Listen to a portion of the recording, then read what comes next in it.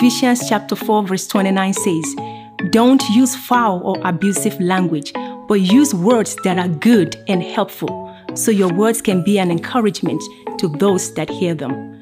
Proverbs 18:21 Life and death are in the power of the tongue. The tongue is a small part of the body.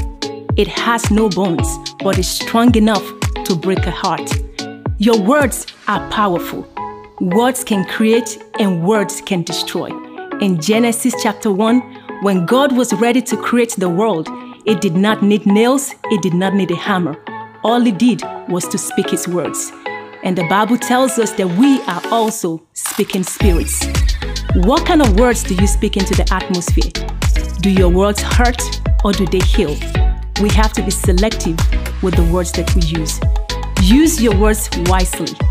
Stay blessed.